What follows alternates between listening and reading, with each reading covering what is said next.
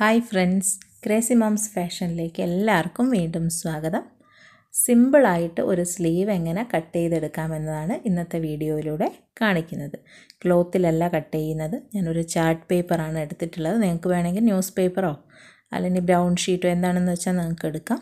ഒരു പേപ്പറിൽ നമ്മളിതുപോലൊരു sleeve pattern ഉണ്ടാക്കി വെച്ചിട്ടുണ്ടെങ്കിൽ നമുക്ക് എല്ലാ കാലവും യൂസ്ഫുൾ ആയിരിക്കും. ആ ഒരു പാറ്റേൺ വെച്ച് നമ്മൾ സ്ലീവ് കട്ട് ചെയ്തെടുത്താൽ മതിയാവും അപ്പോൾ കറക്റ്റായിട്ട് എല്ലാവർക്കും പ്രശ്നം. ആം ഹോളിന്റെ ഭാഗമൊന്നും കറക്റ്റായി കിട്ടാത്തതാണ്. ആം ഹോളൊക്കെ കുഴിച്ച് വെട്ടിയെടുക്കുന്ന സമയത്തൊന്നും കറക്റ്റായിട്ട് പലർക്കും കിട്ടാറില്ല എന്ന് പറയാറുണ്ട്. അപ്പോൾ അത് അങ്ങനെയുള്ളവർ ഇതുപോലൊന്ന് പാറ്റേൺ ഉണ്ടാക്കിയതിന് ശേഷം ക്ലോത്ത് കട്ട് ചെയ്തെടുക്കാം.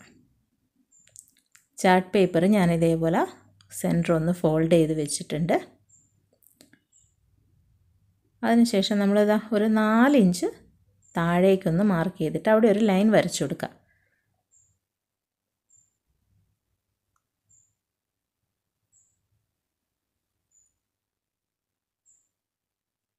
അടുത്ത പോയിന്റ് നമ്മൾ മാർക്ക് ചെയ്യുന്നതിന് മുന്നേ തന്നെ നിങ്ങളുടെ കയ്യിലുള്ള നിങ്ങൾക്ക് കറക്റ്റായിട്ട് ആം ഹോളിന്റെ ഭാഗം നിൽക്കുന്ന ഏതെങ്കിലും ഒരു ഡ്രസ്സിൽ നിന്ന് നിങ്ങൾ ഈ ഒരു മെഷർമെന്റ് മാത്രം എടുക്കുക സ്ലീവിന്റെ കാരണം ഈ ഒരു മെഷർമെന്റ് കൈവണ്ണത്തിനനുസരിച്ച് വ്യത്യാസം വരും. ഞാനിപ്പോൾ ചെയ്യുന്നത് ഫോർട്ടി സൈസിന് കറക്റ്റ് ആവുന്നൊരു സ്ലീവാണ് അപ്പോൾ നിങ്ങൾക്ക് വേറെ ഏത് സൈസിലേക്ക് ചെയ്യുകയാണെങ്കിലും നിങ്ങൾ ഈ ഒരു മെഷർമെന്റ് ഒന്ന് എടുക്കുക. എട്ടര ഇഞ്ചാണ് ഇവിടെ വന്നിട്ടുള്ളത്. ഇതേപോലെ ആം ഹോളിന്റെ ഭാഗത്തുനിന്ന് സ്ലീവിന്റെ നേരെ വരുന്ന ഭാഗത്താണ് നമ്മൾ നോക്കേണ്ടത്. ഷോൾഡർ പോയിന്റിലേക്കല്ല ആ എട്ടര ഇഞ്ച് നമ്മൾ ഈ ഒരു ലൈനിൽ മാർക്ക് ചെയ്ത് കൊടുക്കണം. ഇതിവിടെ മാർക്ക് ചെയ്ത് കൊടുക്കാം. അതിനുശേഷം ഇനി ഇതിന്റെ മുകളിലേക്ക് വരുന്ന ഭാഗം നമ്മൾ മാർക്ക് ചെയ്യുന്നത്. നമുക്ക് ഷോൾഡർ പോയിന്റിന്റെ അവിടെ വരുന്ന അത്രയും ഉയരം ആം ഹോളിന്റെ ഭാഗത്ത് സ്ലീവിന് വേണ്ട. അതുകൊണ്ട് തന്നെ ഫോർട്ടി സൈസിന് ഞാനിവിടെ ഒരു മൂന്നര ഇഞ്ചാണ് മാർക്ക് ചെയ്ത് കൊടുക്കുന്നത്. സൈസ് കൂടുന്നതിനനുസരിച്ച് നമുക്ക് ഈ ഒരു ലൈൻ സ്ട്രെയിറ്റായി കുറച്ചുകൂടെ നീട്ടി വരച്ചു കൊടുത്തിട്ട് ചെയ്താൽ മതിയാകും.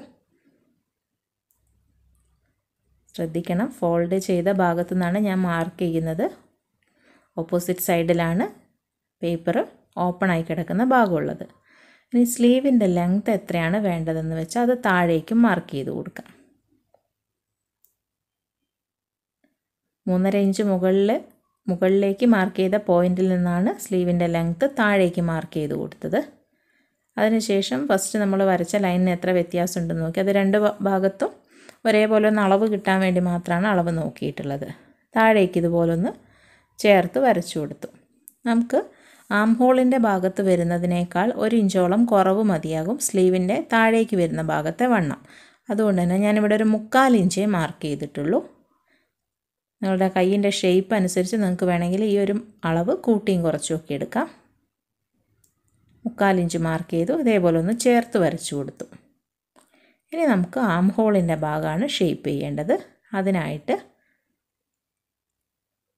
മൂന്നര ഇഞ്ച് മുകളിലേക്ക് മാർക്ക് ചെയ്ത പോയിന്റിൽ നിന്നും ഫസ്റ്റ് നമ്മൾ ഈ ഒരു ലൈനിൽ എട്ടര ഇഞ്ച് മാർക്ക് ചെയ്ത പോയിന്റിലേക്ക് ഒന്ന് സ്ട്രെയിറ്റായി ഫസ്റ്റ് വരച്ചു കൊടുക്കാം.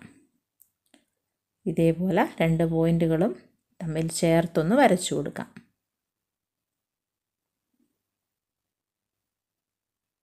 അതിനുശേഷം നമ്മൾ ഈ ഒരു ലൈനിൽ മൂന്ന് പോയിന്റുകൾ അടയാളപ്പെടുത്തണം. ആദ്യം തന്നെ അതായത് ഈ ഒരു ലൈനിനെ കൃത്യമായ മൂന്ന് ഭാഗങ്ങളാക്കിയിട്ടാണ് നമ്മൾ മാർക്ക് ചെയ്ത് കൊടുക്കേണ്ടത്.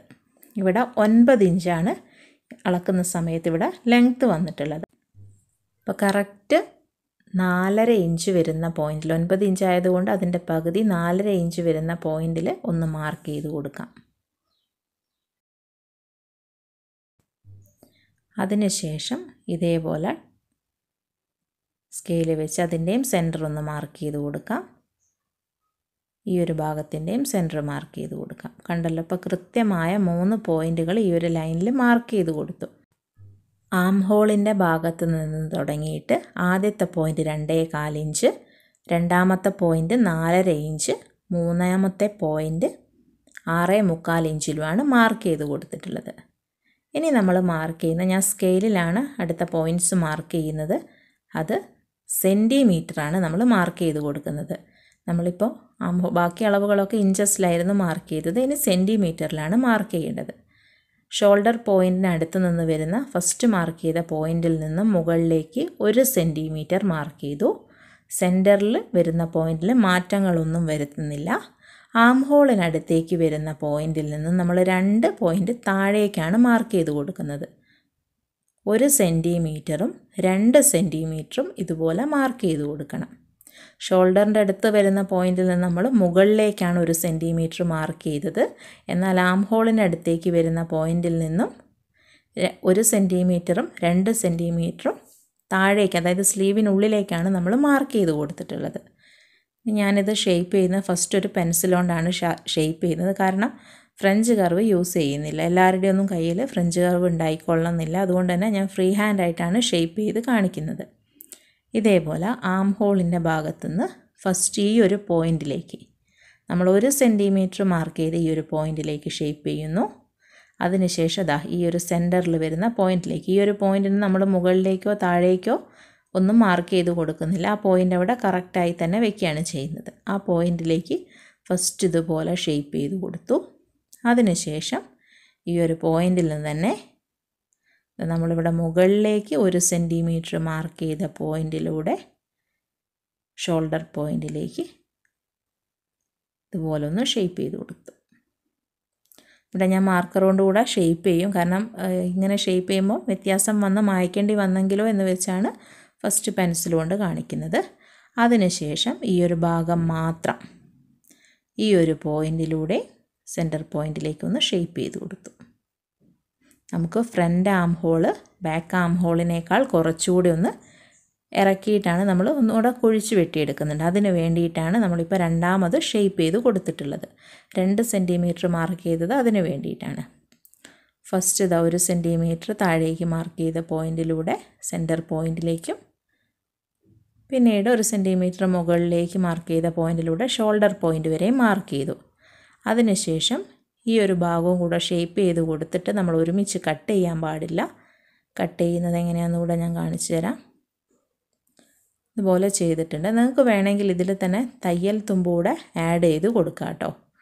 അതായത് മുകൾ ഭാഗത്ത് മാത്രം നമ്മൾ ക്ലോത്തിലേക്ക് കട്ട് ചെയ്യുമ്പം ക്ലോത്തിലെടുത്താൽ മതി. സൈഡ് പാർട്ടിലേക്കും അതേപോലെ ഈ ഒരു ഭാഗത്തേക്കുമൊക്കെ നമുക്ക് വേണമെങ്കിൽ താഴെ ഭാഗത്തേക്കും മടക്കി തയ്ക്കുകയാണെങ്കിലോ അല്ലെങ്കിൽ നമ്മൾ ലൈനിങ് വെച്ച് തയ്ക്കുകയാണെങ്കിൽ നമുക്കൊരു കാലിഞ്ച് മാത്രമേ ഇവിടെ ആവശ്യമുള്ളൂ. അല്ലാതെ മടക്കി തയ്ക്കുകയാണെങ്കിൽ നമുക്കൊരു ഒന്നേ കാലിഞ്ച് വരെ ഇവിടെ ആവശ്യമുണ്ടാവും. അപ്പോൾ നമുക്കത് കറക്റ്റ് മാർക്ക് ചെയ്ത് കൊടുത്തിട്ട് വേണമെങ്കിൽ ഇതുപോലെ പാറ്റേണിൽ തന്നെ നിങ്ങൾക്ക് മാർക്ക് ചെയ്ത് വയ്ക്കാം പാറ്റേണിൽ ചെയ്തിട്ടില്ലെങ്കിലും കുഴപ്പമില്ല. കാരണം മുകൾ ഭാഗത്ത് നമ്മൾ തയ്യൽ തുമ്പ് പാറ്റേണിൽ മാർക്ക് ചെയ്യുന്നില്ല. അപ്പോൾ അങ്ങനെ കൺഫ്യൂഷൻ വരുമെന്ന് തോന്നുന്നവർ ഇങ്ങനെ താഴേക്കും ഇതിലേക്കും സൈഡിലേക്കും മാർക്ക് ചെയ്യണമെന്നില്ല. ചെയ്തിട്ടുണ്ടെങ്കിൽ മനസ്സിലാക്കാൻ വേണ്ടി ഞാൻ കാണിച്ചു തരാം. കുറച്ചുകൂടെ സൈഡിലൂടെ വരച്ച് കഴിഞ്ഞതിന് ശേഷം കാണിച്ചു തരാം. നിങ്ങൾക്ക് വേണമെങ്കിൽ അവിടെ ഒന്ന് ക്രോസ് ചെയ്തിട്ടാൽ മതി. ആ ഒരു ഭാഗം മാത്രം. തയ്യൽ തുമ്പ് കാണിക്കാൻ വേണ്ടി മാത്രം അവിടെ കുറച്ച് ലൈൻസ് ഒന്ന് വരച്ചു കൊടുത്താൽ മതി. ഇതേപോലെ ഒന്ന് വരച്ചു കൊടുക്കുക അല്ലെങ്കിൽ ഈ ഒരു തയ്യൽ തുമ്പ് വരുന്ന ഭാഗം മാത്രം ഒന്ന് ഷെയ്ഡ് ചെയ്ത് കൊടുക്കുകയോ ചെയ്താൽ മതി. പക്ഷേ ക്ലോത്തിലേക്ക് കട്ട് ചെയ്യുമ്പോൾ മുകൾ ഭാഗത്തെ തയ്യൽ തുമ്പ് നമ്മൾ തുണിയിൽ തന്നെ എക്സ്ട്രാ എടുത്തിട്ട് കട്ട് ചെയ്യണം. കാരണം അത് നമ്മൾ തയ്യൽ തുമ്പൂടെ ഇവിടെ മാർക്ക് ചെയ്ത് കട്ട് ചെയ്യുന്ന സമയത്ത് നിങ്ങൾക്ക് കൺഫ്യൂഷൻ വരും. അതുകൊണ്ടാണ് ഞാൻ മുകൾ ഭാഗത്തൂടെ തയ്യൽ തുമ്പ് ആഡ് ചെയ്ത് കാണിക്കാത്തത്. ഇനി ഫസ്റ്റ് ഇതാ ഈ ഒരു ഒരു സെന്റിമീറ്റർ ഷേപ്പ് ചെയ്ത പോയിന്റിലൂടെ വേണം നമ്മൾ കട്ട് ചെയ്ത് കൊടുക്കാനായിട്ട്. ആദ്യം തന്നെ ഉൾവശത്തൂടെ കട്ട് ചെയ്ത് പോകാൻ പാടില്ല. അതായത് ആം ഹോളിന്റെ ഭാഗത്ത് രണ്ട് പോയിന്റുകൾ നമ്മൾ മാർക്ക് ചെയ്തിട്ടുണ്ടായിരുന്നു താഴേക്ക്. ഒന്ന് ഫ്രണ്ട് ആം ഹോളിന് വേണ്ടിയുള്ളതാണ്. ആ ഒരു ഭാഗം നമ്മൾ ഫ്രണ്ട് പാർട്ട് മാത്രമേ കട്ട് ചെയ്യാൻ പാടുള്ളൂ. അപ്പോൾ ഇതേപോലെ തന്നെ നിങ്ങൾ ശ്രദ്ധിച്ച് കട്ട് ചെയ്യുക. ഒരു സെന്റിമീറ്റർ മാർക്ക് ചെയ്തിട്ടുള്ള ആ ഒരു പോയിന്റിലൂടെ കട്ട് ചെയ്ത് കൊടുക്കുക ഫസ്റ്റ്.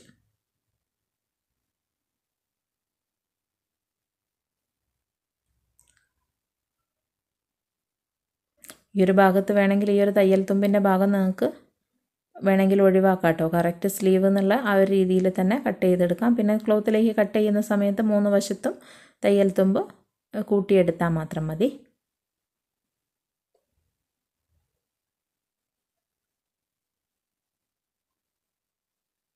അതിനുശേഷം ഇതുപോലെ നിവർത്തി വയ്ക്കുക എന്നിട്ട് വേണം നമ്മൾ ഈ ഒരു ഭാഗം അംഹോളിന്റെ ഭാഗത്ത് രണ്ട് സെന്റിമീറ്റർ മാർക്ക് ചെയ്ത പോയിന്റിലൂടെ കട്ട് ചെയ്തെടുക്കാനായിട്ട്.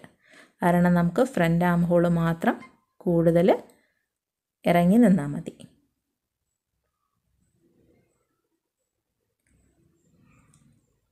നമ്മുടെ സ്ലീവ് കട്ടിങ് കഴിഞ്ഞു.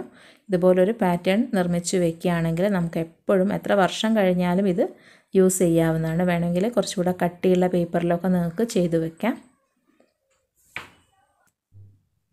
ഞാനിപ്പോൾ കട്ട് ചെയ്തതിന് ശേഷം നിങ്ങൾക്കൊന്ന് അടുത്തേക്ക് കാണിച്ചു തരാം. കണ്ടല്ലോ ഫ്രണ്ട് ആം ഹോൾ മാത്രം ഇതേപോലെ ഒന്ന് ഇറക്കി വെട്ടിയെടുത്തിട്ടുണ്ട്. അപ്പം ഞാനിത് വീഡിയോയിൽ കാണാൻ വേണ്ടിയാണ് മാർക്കർ കൊണ്ട് വരച്ചു കൊടുത്തിട്ടുള്ളത്. നിങ്ങൾ വേണമെങ്കിൽ ഒരു പെൻസിൽ കൊണ്ട് വരച്ചു കൊടുത്ത് ലാസ്റ്റ് ആ ലൈൻസൊക്കെ നിങ്ങൾക്ക് മായച്ചു കളഞ്ഞാൽ മതി. ഈ ഒരു തയ്യൽ തുമ്പ് നമുക്കൊരു ബുദ്ധിമുട്ടാവും എന്ന് തോന്നുകയാണെങ്കിൽ അത് കട്ട് ചെയ്ത് മാറ്റി കൊടുക്കാം വീഡിയോ ഇഷ്ടമായാൽ ലൈക്ക് ചെയ്യാനും ഷെയർ ചെയ്യാനും കമന്റ് ചെയ്യാനും മറക്കരുത്.